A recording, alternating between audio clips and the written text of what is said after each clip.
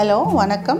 நான் doctor Bhuvaneshwari fertility specialist from GBF fertility centre and hospitals Mugappair and Chromepet இன்றைக்கி வந்து முக்கியமாக ஒரு டாபிக் அதாவது ஃபைப்ராய்ட் ஃபைப்ராய்ட்ஸில் வந்து என்ன சிம்டம்ஸ் அது மட்டும் ஷார்ட்டாக நான் சொல்லிடுறேன்.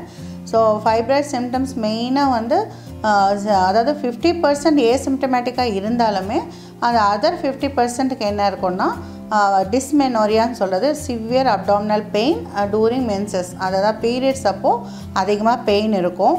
அண்ட் அதே மாதிரி அதிகப்படியான மாதவிடாய் போக்குன்னு சொல்கிறது ரத்தப்போக்கு அதிகமாக இருக்கும்.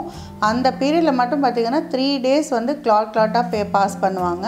ஸோ சில பேருக்கு அது தெரிய கூட தெரியாது. அந்த அளவுக்கு அனிமிக் ஆகிட்டு அதுக்கப்புறம் பிரெத்லெஸ்னஸ் ஆகி தான் வருவாங்க. அப்போ தான் தெரியும் அவங்களுக்கு இந்த ப்ராப்ளம் இருக்குன்ட்டு.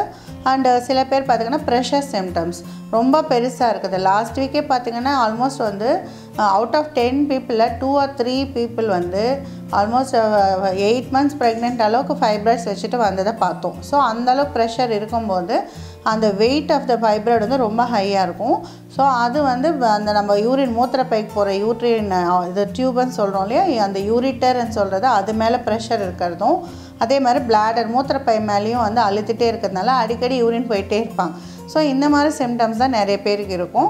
சில பேருக்கு வந்து பார்த்திங்கன்னா அந்த degenerative சேஞ்சஸ்னால fever severe pain even periods இல்லாத கூட பெயின் வர்றது திடீர்னு அப்டமன் வந்து பெருசான மாதிரி இருக்குது இந்த மாதிரி லோக்கல் சிம்டம்ஸ் வச்சுருக்கதே நம்ம பார்க்குறோம். ஸோ இது எதுவாக இருந்தாலுமே அது கண்டிப்பாக டாக்டர் போய் பார்க்க வேண்டியிருக்கும். எல்லாருக்குமே ஃபைப்ராய்ட்ஸ் இருக்கான்னா இல்லை.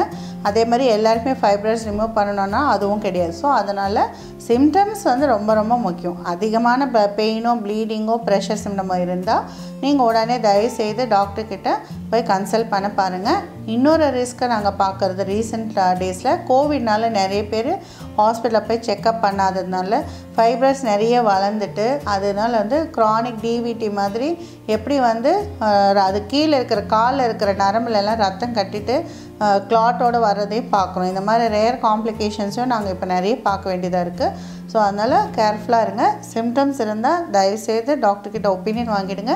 ஒரே ஒரு அல்ட்ராசவுண்ட் வேறு எதுவுமே அந்த பேசிக் அல்ட்ராசவுண்ட் வந்து நமக்கு சொல்லிடும் எத்தனை ஃபைப்ராய்டு இருக்குது ஏதாவது டேஞ்சராக இல்லையா ஃபைப்ராய்டு தானா இல்லை ஒவேரியன் கட்டியாங்கிறத சொல்லிடும். ஸோ இதை தெரிஞ்சுட்டு நம்ம அதுக்கப்புறம் டைம் கொடுக்கறது பெட்டர் ஆப்ஷன் தேங்க்யூ